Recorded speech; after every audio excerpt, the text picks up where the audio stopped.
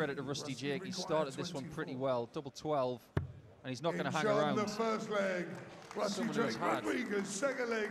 different idiosyncrasies with his game over the last few years. He's tried different approaches with to get back on on. level terms. 66. it's going to be double top. Game second Beautifully leg. picked off by Luke. The nuke. To throw first. Because every dart player who's coming through now dreams of maybe playing Premier League darts or UK Open or World Championships. He's already been in a World Championship last year.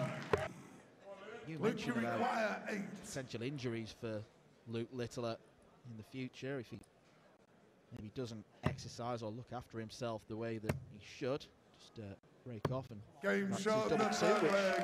you can tell from the celebration Luke Littler has pinned. Fourth leg. Luton to Leads throw by two first. legs to Game one, on. but Rusty Jake, he's got a, a very sort of snappy action with the elbow, almost a little bit like what Jeffrey does. de Zwaan. So he's another one that has to be careful. with Littler making this look so on before.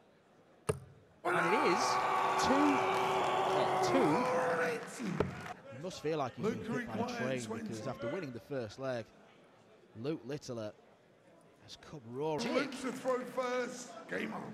they play 80% of the time.